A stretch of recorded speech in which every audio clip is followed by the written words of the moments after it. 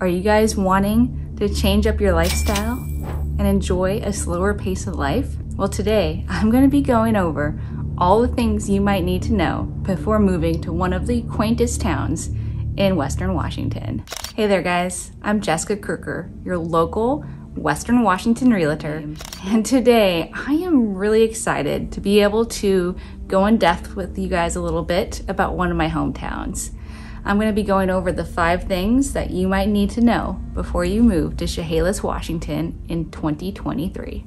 First off, let's talk about the rich history that Chehalis has. It was founded in the 1800s, and there are so many stories of pioneers and settlers throughout the community.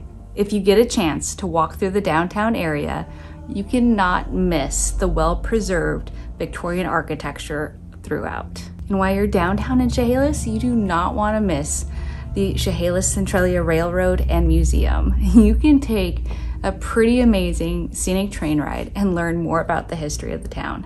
The number two thing that you might need to know before moving to Chehalis in 2023 is going to be the abundance of outdoor recreational activities.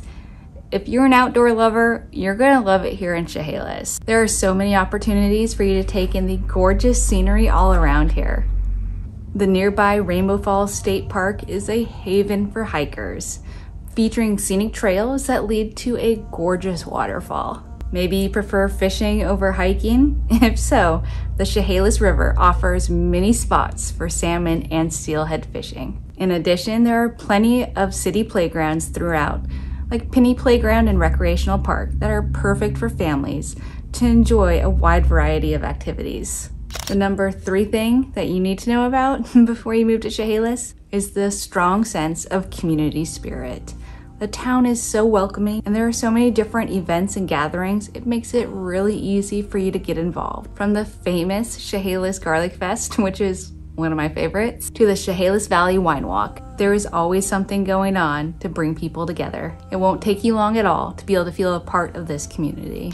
The thriving arts and culture scene here is the number four thing that you might want to know before moving to Chehalis, Washington. For those of you that appreciate art and culture, Chehalis will not disappoint. The historic downtown area is home to a thriving art district, showcasing the local artists' talents in galleries and studio spaces. The Chehalis Theater, which was a beautifully restored 1930s movie house, still boasts live shows and filmings. You will also find a variety of art workshops, music events, and theater productions, which cater to all ages. If you're thinking about moving to Chehalis, you have got to consider the affordability factor. If you're looking for affordability with a touch of charm, Chehalis has you covered. From cozy craftsman style to spacious ranches. For instance, in the desirable Edison district, you'll find quaint bungalows with well manicured gardens and in the newer subdivisions, you'll find modern family homes with access to local amenities. Whatever your preference, there's something that covers every taste and budget in Chehalis. Making a move is a big deal, but I don't think you're to be disappointed if you choose Chehalis. There's so much historic charm, affordability, and a variety of outdoor activities. The sense of community and the vibrant art scene adds to the city's appeal, making it a truly special place to call home. So guys, after hearing those five things about moving to Chehalis, what do you think? You still want to move here?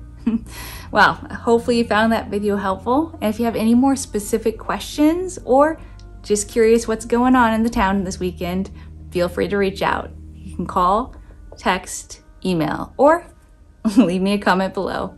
I'd love to connect.